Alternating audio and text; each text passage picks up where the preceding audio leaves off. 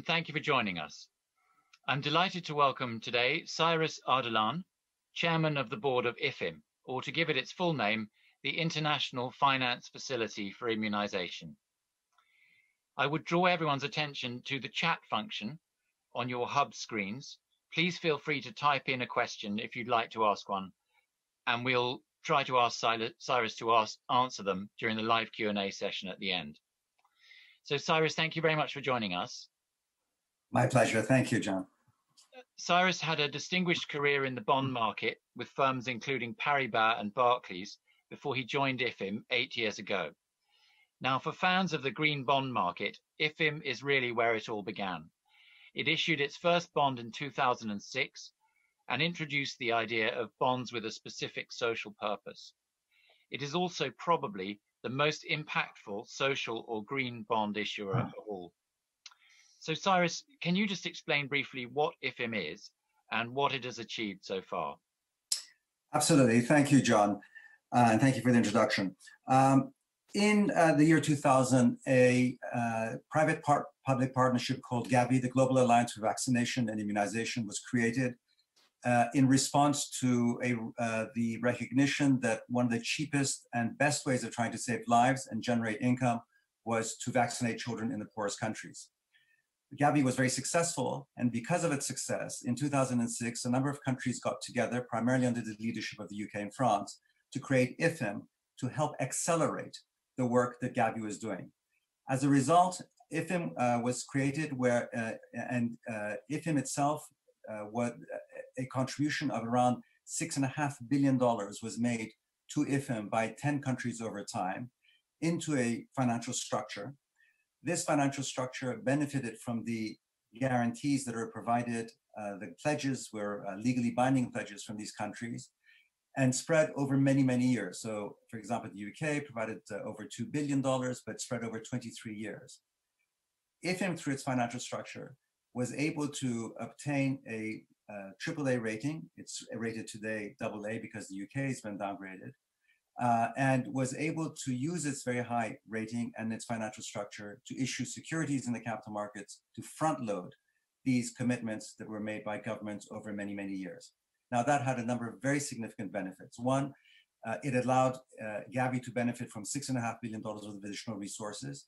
So, therefore, was able to significantly increase its activities. For example, in the several, in the four or five years after IFFIm was created, nearly 60% of Gavi's expenditures were funds provided by IFFIm. Secondly, because the structure allowed countries to provide their uh, funding over many, many years, it was very attractive for countries to contribute more money to Gavi and its causes through IFFIm because these could be spread over many, many years.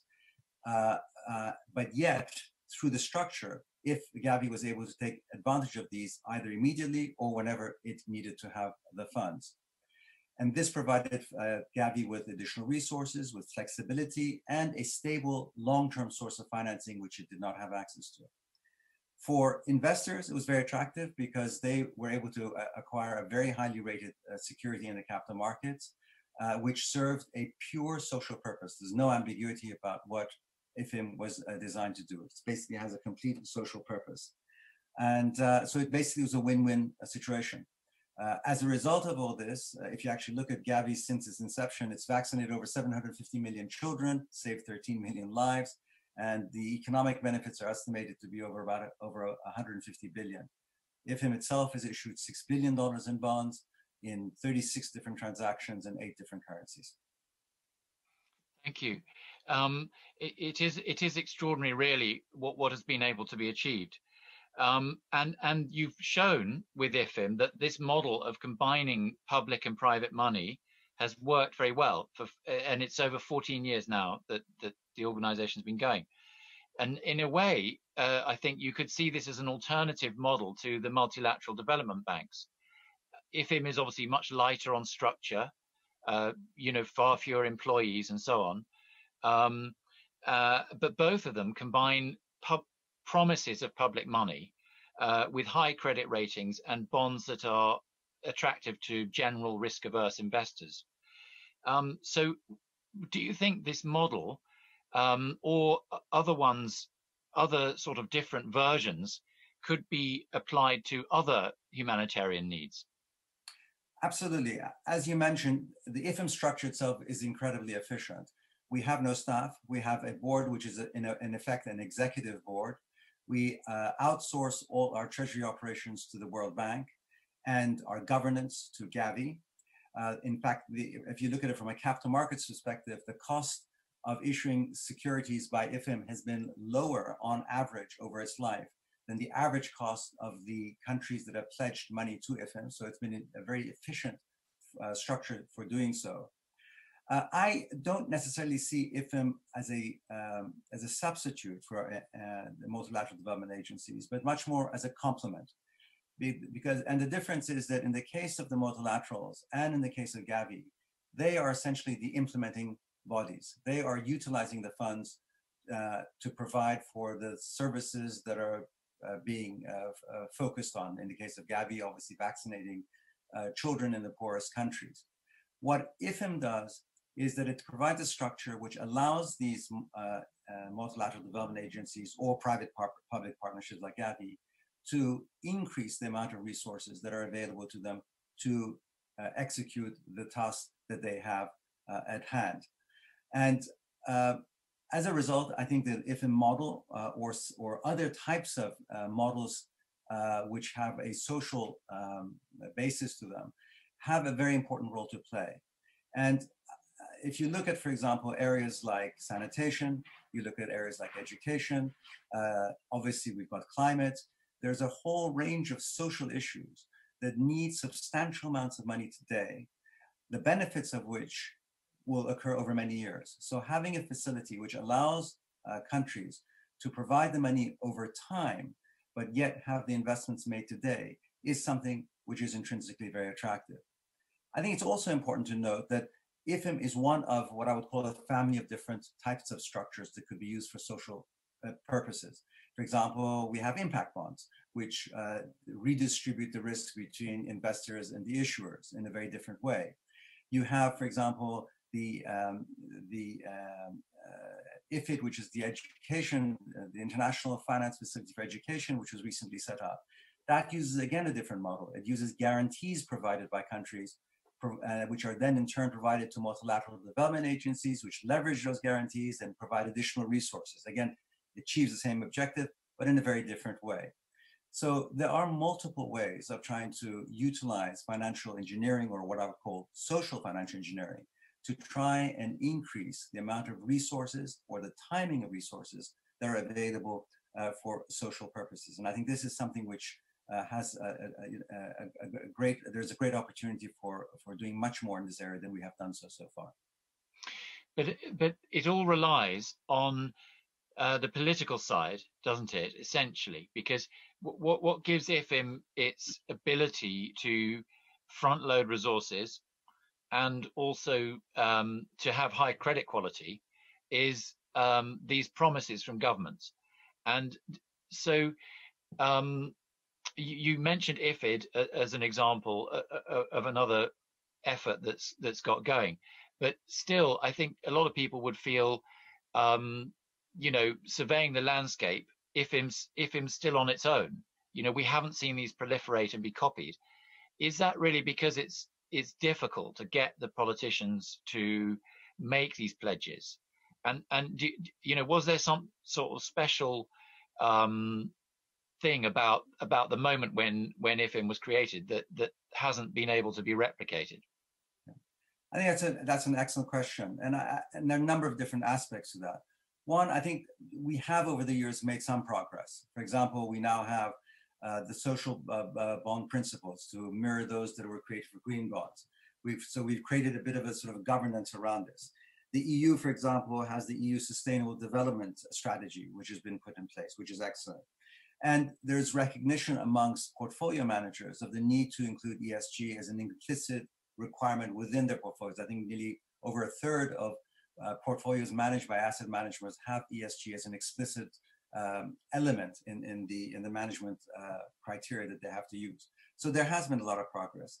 But the reality is that uh, uh, the amount of social bonds issued, for example, if you look at that as a measure, has been relatively modest. I think if you look at ESG as a, as a whole class, about 250 billion were issued, I think, in 2019, of which only 6% were uh, social bonds, so relatively small. Now, why is that? I, I think there are a number of factors. One, I think it's intrinsically complex to try and create structures like IFFIm. You need to have all the stakeholders together. You need the governments on one side together. You need the people who access, provide access to the markets, namely the investment banks, or could be potentially insurance companies together. And you need the governments that are providing the money together, uh, as well as obviously the institutions ultimately going to be utilizing this. All have to get together to try and come up with a structure which works. And each really brings a very different dimension to the picture. Uh, each brings their own strengths, their knowledge of certain areas, and uh, and also a lack of understanding of other things. Mm. So trying to bring all these components together, I think, is not easy. It's time consuming, and for that to happen, you need to have very very strong leadership, and that is, I think, mm. political. You need somebody. In the case of IFFIm, it was the UK that really took a very strong uh, view on that and, and provided leadership in trying to pull this thing together. But once you pull these elements together and people are willing to devote the time and, and effort necessary, then I think you can make a, a, a great deal of progress. And um, this is something which uh, is, you know, we, for example, uh, uh, between ourselves and the International Red Cross, we've created an informal roundtable to try and get humanitarian institutions who are interested in accessing capital markets together. So we begin to have an exchange of views on what it is we're trying to achieve, share our experiences, and incorporate into that forum investment banks and insurance companies, which ultimately are clearly the route to market and which we need to, to buy into. Um, the for many of these investment banks and insurance companies, the, these type of transactions are very idiosyncratic. They're very time consuming to try and structure. So they're not very attractive from a commercial point of view. That's where, again, I think if you look at it in the short run, the only way of trying to move this thing forward is to have leadership uh, at all levels, including those, in those institutions, which says, look, this is a cause which is worthwhile. And over time, it is something which will bring huge benefits to society at large, but also could be commercially interesting to institutions as well. So you that in your forum, your uh, roundtable with the with the Red Cross, do you have uh, commercial interests uh, represented there, investment banks or, or investors? Are they are they interested? Yes, they they are there and they are interested. But again, I think that uh, you know this is just something we we recently created. It's still an informal. We're in the process of trying to make it more formal. There's been a lot of interest in it. Uh, uh, but over time, I think um, the success of something like this will depend very much on the willingness uh, and ability, well, I think it's more willingness on the, uh, of commercial institutions to devote time and effort in helping structure something which allows us humanitarian institutions to access the capital markets and uh, uh, and, and and that way really uh, create a whole series of new type of uh, in financial institutions or new type of financing options, alternative structures, and that I think will take on a life of its own. I think in that as well, what is important is that with ESG becoming such an important factor, uh, a growing and, and important factor in asset management per se, that itself will create increased demand for these type of securities. So mm. hopefully that will in turn put an, another form of pressure or incentive, let me put it this way, for institutions to invest time and effort in trying to create these assets because there is a, a strong market for that. Mm. And there's one a market which is only going to grow and grow quite rapidly in the years ahead. And are there other organizations, uh, you mentioned the Red Cross, but that have a pipeline of pledged donations that, that could uh, back a bond, or would it need to be, you know, freshly created pledges? Again, it's, uh, I think some have that. Uh, Others have it in other forms. They may not be pledges, but there may be streams of income that are very certain and very stable, which can be utilized for this type of purpose. Others may be, uh, in the case of education, it's more in the form of guarantees rather than actual uh, the, providing of cash. So again, what is uh, both very interesting and what makes this complex is that there there's no single sort of approach towards this thing Each institution is in a very different space. The requirements are different. Their access to support comes in a different format. So one has to sit down and see to what extent these different types of support facilities can be utilized to help access resources in the private markets. So um, I think the answer is that there are many different forms of support that are out there, and it's really a question of figuring out how, how to best to mobilize those. Um, I want to ask you about uh, disasters. Yes. Because um, obviously, you know, humanitarian problems come in chronic form and uh, in acute form, and and often, you know, the time when you can mobilize political support and public opinion is is at a moment of crisis. Um, but obviously, it's much more difficult to plan any sort of financial structure for a disaster or a or a sudden event. And obviously, you know, the the current pandemic is is an example. Um, so, what do you think? There's any scope for capital markets to be involved in assisting or, or strengthening a sort of uh, ability to respond to disasters? I believe that there, uh, yes, I think that the answer is yes to that. And it can take a number of different forms. Firstly, the more institutions such as or similar to IFFIm we create, the more we are able to address crises because COVID is a very good example of that. I mean, COVID came from nowhere. If IFFIm had not been there, then uh, there will be no means by which Gavi would be able to mobilize substantial resources very, very quickly. Would have to go back to to governments, etc., and try and seek additional funding. Whereas today, IFFIm sits on substantial resources that can be mobilized when the time comes very, very quickly. So if you have a number of these type of facilities, whether it's IFFIm, uh, uh, like IFFIm or similar to IFFIm, that in itself provides a means of addressing crises as they emerge.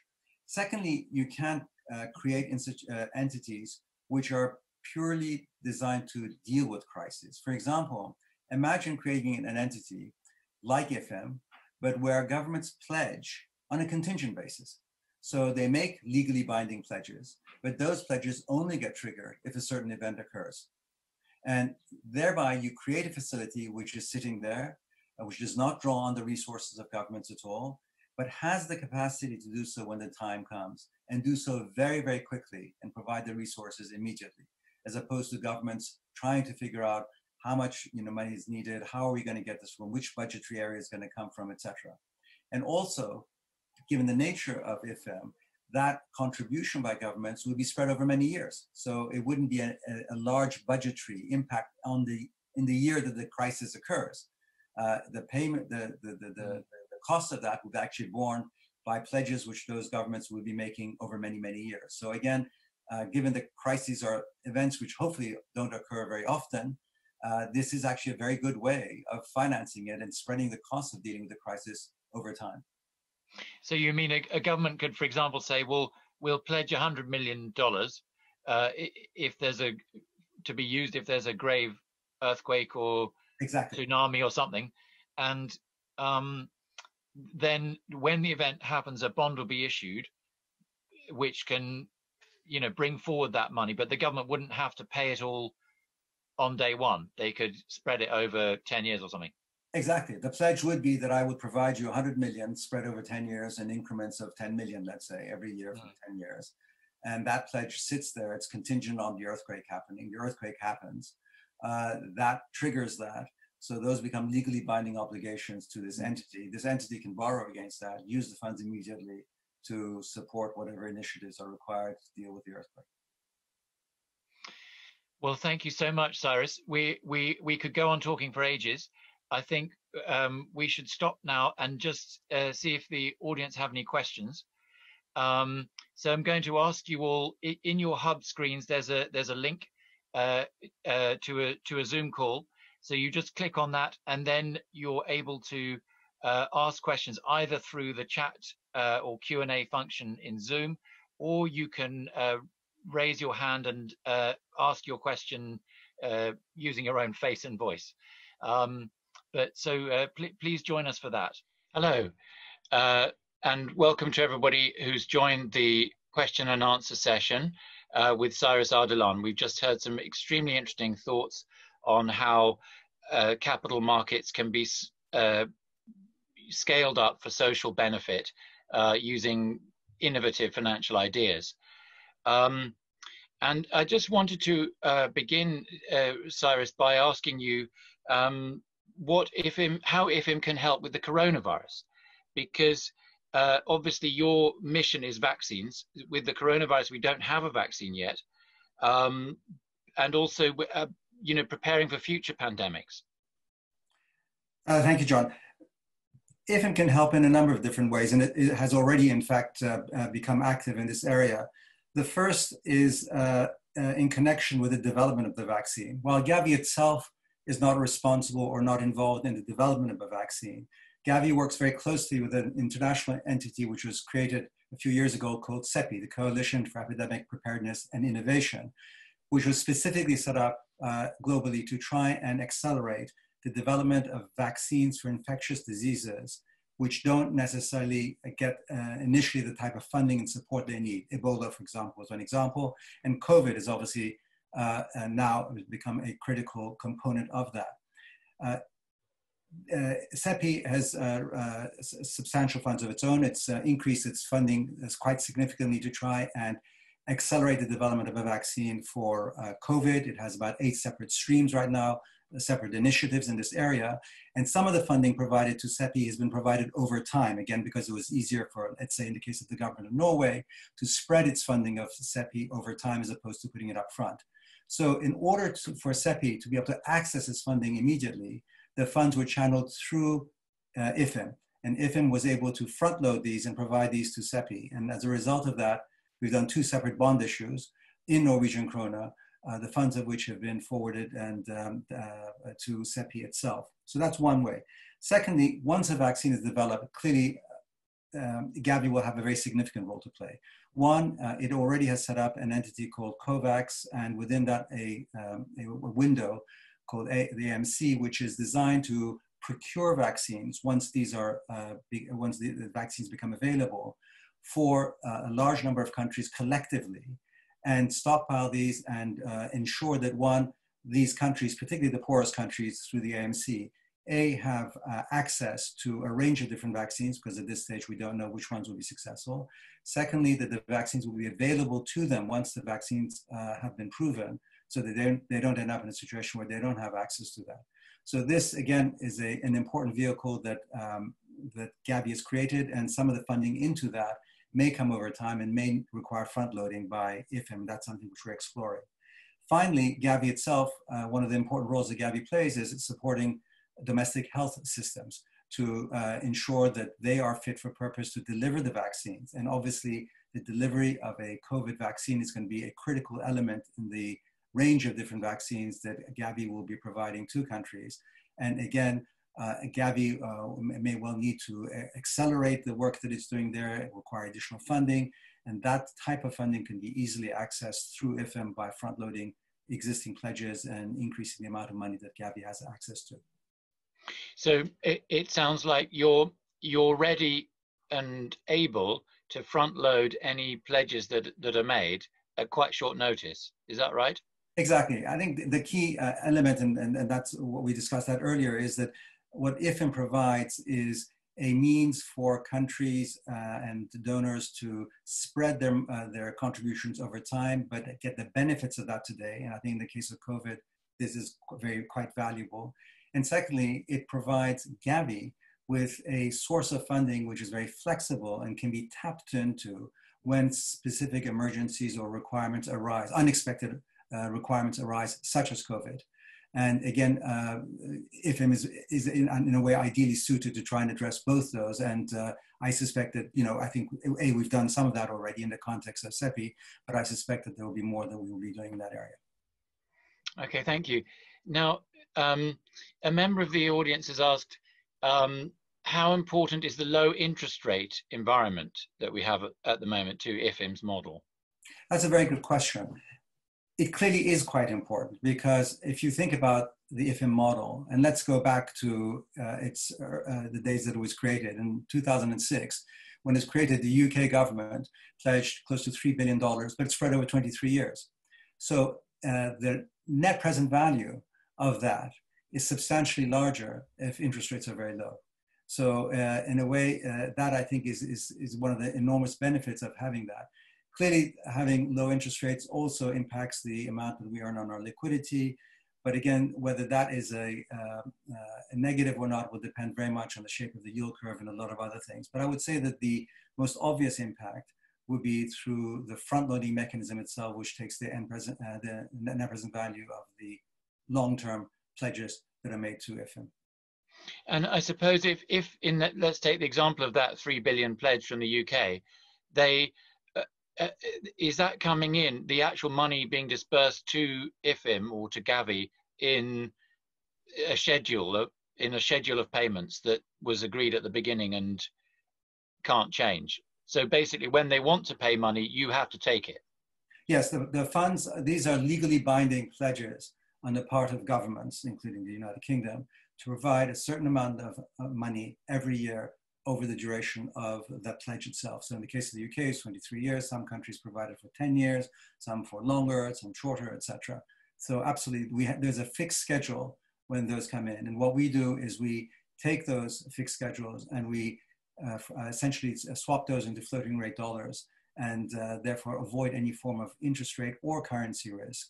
Uh, and then we have the capability of clearly front loading that. And the amount of front loading we can do obviously increases uh, with the, uh, as the interest rates come down. And obviously the other, you know, thinking about how the IFFIm model or, or some of its ideas could be extended to other applications, you know, a key, a key element obviously is the reliability of the pledges, isn't it? I mean, that, that's the foundation of the whole thing. If governments have pledged money, we need to be able to trust that a subsequent government in the same country 20 years later will will honor that. Um, can you tell us a bit about how that is guaranteed? Yeah. The, I mean, there, there, are two elements to that. One is clearly the, um, the nature of the pledge itself, and these are legally binding pledges which have been approved by governments and the parliaments, etc. So they have virtually the same type of standing as the debt of the government itself. So it really carries a great deal of weight from that perspective. It is not a a sort of an undertaking to provide money, uh, etc. It's, a, it's a formal legally binding pledge which has gone through all the governance requirements within the country, firstly. Secondly, there's the element of uh, the creditworthiness of the countries, obviously. The value of these pledges is, um, uh, is driven in a way by the strength of the underlying strength of the credit of the pledger uh, and uh, um, the majority of the funding to, to IFFIm initially was provided by uh, countries such as uh, the United Kingdom and France and a number of other countries with uh, at, that, at the time when they were created they were AAA now they're either AAA or AA but they're still very very extremely strong credits. And in fact if you actually look at the recent uh, exercise of replenishing Gavi and IFFIm the around four, uh, five countries came in to the new pledge, uh, to the new round, and all of them were, were, were, a very strong credits, and many of them were AAA. For example, the Netherlands was in there, the Norway was in there, etc. So uh, these again will provide a great deal of uh, continuing strength to the underlying credit uh, standing of IFFIm itself. Thank you. Um, now, another question here is about the, uh, the insurance industry. Okay, and and the questioner asks, a lot of people in the insurance industry have been exploring similar issues, particularly trying to design financial structures to ensure funding can be released when needed after a disaster. Um, should people working in sustainable capital markets uh, look to collaborate more with some of these pioneering insurance organizations? Absolutely. Uh, I, I, believe that one of the big challenges that we have right now is to ensure that the various stakeholders, various parties involved in this area work collectively together and not in individual silos. Uh, each party brings in a sort of a different perspective, a different risk uh, return requirements, uh, risk uh, appetite, etc. And by combining these together, we, I believe, can end up with structures that uh, address the specific requirements that we have much more effectively. And this involves on the private sector side, insurance companies and investment banks, which have access to the capital markets. On the public side, it involves governments directly and multilateral development agencies. Uh, and so, and then you've got basically the institutions, the humanitarian institutions themselves that are really at the coalface in trying to provide the various services that need to be provided, etc. So by pooling all these resources together, I believe that we can end up in a situation where we can be much more effective in designing new creative uh, um, op options which spread the risk across the various parties concerned in a way which is much more consistent with their ability to take on the risk. Uh, and also just this uh, provide a forum for exchanging ideas and views and, uh, and sharing innovation. At the end, uh, we all have a very similar and common interest. Thank you. Um, and I think perhaps we'll take one more question. And this is um, more of a cultural question. Um, but it's about, you know, what, what can people in the capital markets do? Now, you've laid out a, a sort of very uh, sort of inspiring perspective of what, what the capital markets are capable of. Um, IFFIm is an example of, of it being able to achieve wonderful things. But and, and you've talked about efforts going on to try and sort of replicate that or bit or create other achievements of a, of a similar kind. But um, people, you know, working in the capital markets usually they have a short-term target. They they've they've got a deal to win or a, uh, an investment performance target to reach for the quarter or whatever.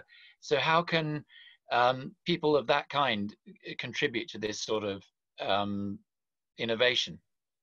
That, that is a very good question. Uh, I, I, believe that um, this is, I think historically it's, it's been a big, big challenge, uh, but I'm uh, cautiously optimistic. And I'm optimistic uh, for a number of reasons. One, ESG has become a, a very uh, uh, important aspect of the governance of financial institutions, investment banks, commercial banks, and others. Regulators are focusing on this in a very, very direct way and they have expectations of the boards and management of, of financial institutions to, to incorporate this in their own strategies. And institutions themselves have uh, shown a very strong interest in, in doing that. And you see this in the announcements that various financial institutions have been making at the highest levels. Um, so uh, I think what then needs to be done is to, as institutions, incorporate ESG in a very concrete way in their own domestic, in their own uh, strategies. We need to make sure that they explicitly try and pick this up as an area of focus, as opposed to looking and saying, look, you know, looking at much more generically, how much, you know, what sort of volume of green bonds have we done? What exclusions do we have and the types of lending did we do, et cetera. So I think there needs to be a much more granular approach towards ESG. And this is one aspect of it, which I would certainly encourage financial institutions to focus on. The second is clearly on the asset management side. Again, there the signs are very, very positive. If you look at asset management mandates, uh, close to half, I think it's 30, 40% now, include an ESG, explicit ESG requirement within them. Again, I think it, it's beholden on the uh, on, on, uh, on, the entities that have provided the funds to be managed to, uh, in a sense, require asset managers or expect of them to, uh, to look at this in a much more granular way and to say, look, we believe this has real value and the social benefits of this globally are, are very, very significant. And we can continue to get attractive, uh, close to market, if not market returns on this thing and encourage again asset managers from their side to put pressure or to encourage investment banks to work together to try and develop instruments. Thank you, Cyrus. Um, I'm sure we all agree that that, that was a fascinating talk. Um, you, it's it really encouraging to hear that um, there are so many uh, possibilities for capital markets to help um, areas of, of life that people people didn't expect or, or hadn't really dreamt of.